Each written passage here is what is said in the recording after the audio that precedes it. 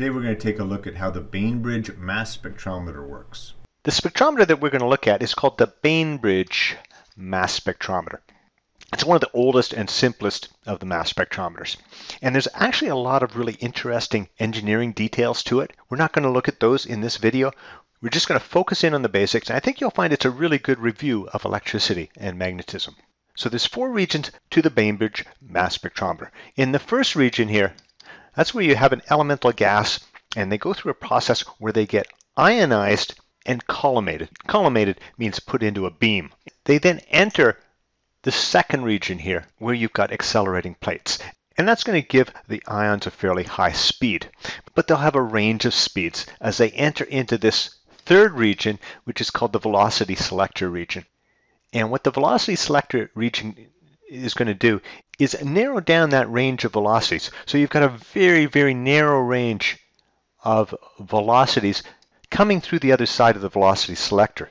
And their speed will be known very precisely. They will then go into a fourth region where there's a magnetic field and they will execute circular motion and the different isotopes will be separated and it will be possible then to determine the mass of each isotope of that elemental gas. So now let's look at each region in a little more detail. The first region is the ionization region and in that region you're going to have an elemental gas come into an evacuated chamber. And at one end of that chamber, you're going to have what's called an electron gun. Well, an electron gun does exactly what you'd expect it to do. It fires out electrons at high speed. So the electrons are going to come out and they're going to hit these gas atoms. And when they do that, they're going to knock electrons off the gas atom. So of course it's going to become charged. And in almost all cases, takes on a charge of plus one because it's so much easier to knock off one electron than two electrons. So now that we've got these positive ions, there's some good engineering that goes on, and there's voltages on the walls of the chamber that kind of direct those positive ions towards an opening on this side of the chamber. So the ions are going to exit into the second region of the mass spectrometer. So the positive ions pass into this second region. They'll enter a opening between parallel plates so you'll have a parallel plate on the left and another one on the right. The plate on the left is going to be at a higher potential than the plate on the right. And that means we're going to get an electric field to the right, accelerating those positive ions towards this opening in the far plates. The objective here is to give the positive ions a fairly high velocity. And you'll recall when we studied parallel plates, we simply used conservation of energy, that the loss in electric potential energy would be the same size as the gain in kinetic energy. Our loss in electric potential energy will equal the charge, 1.6 times 10 to the minus 19 coulombs, times the voltage across the plates.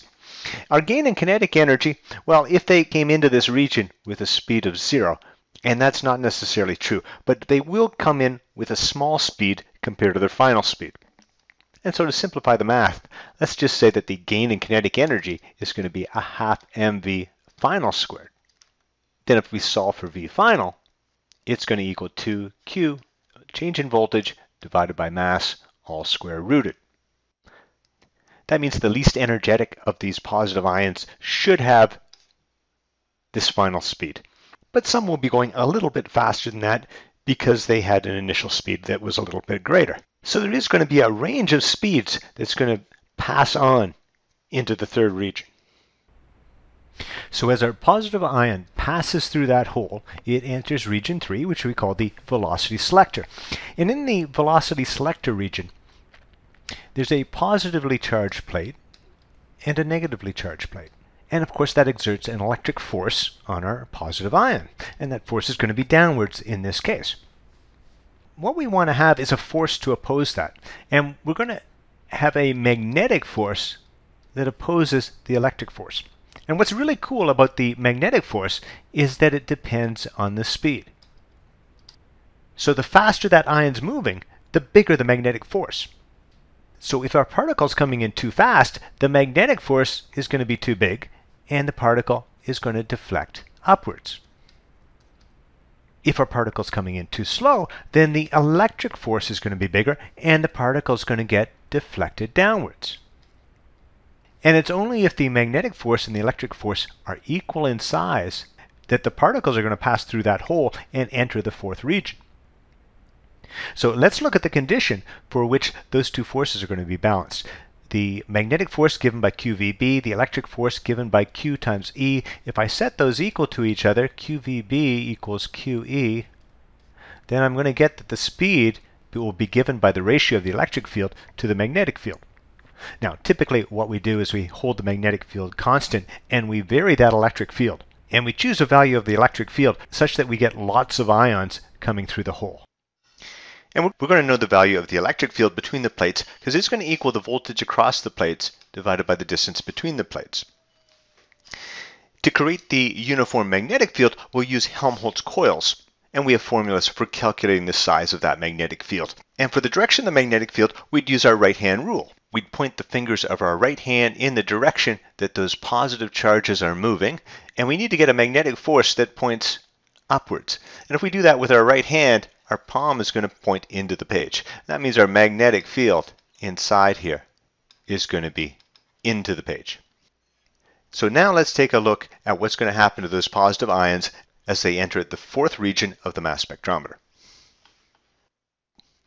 So here's our positive ion entering into that fourth region where we want to separate the different isotopes. And what we want these positive ions to do is to execute circular motion. So if we have a large mass particle, it's going to execute a circle with a large radius. And if we have a small mass particle, it's going to execute a circle with a smaller radius. And that's because something with more mass has more inertia. That means it's harder to accelerate. And turning is a form of acceleration.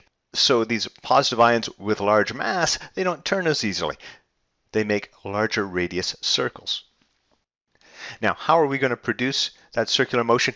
With a magnetic field, of course. And in this case, we're going to need a magnetic field that's going to be out of the page. And the reason that I know it's got to be out of the page is because when we did the velocity selector, I wanted a magnetic force that was upwards. This time, I want a magnetic force that's downwards.